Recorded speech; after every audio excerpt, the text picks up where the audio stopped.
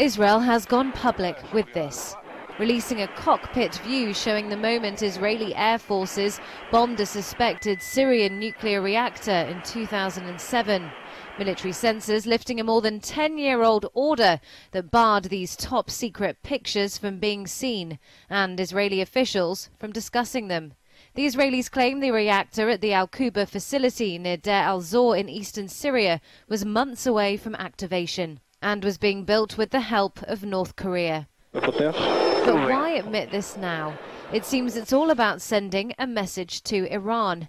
The admission comes with a warning that Israel would not allow Tehran to develop nuclear weapons. In recent months, Prime Minister Benjamin Netanyahu has been doing the rounds calling on the US and international community to take tougher action on Syria's ally. Israel's intelligence minister summing it up on Twitter.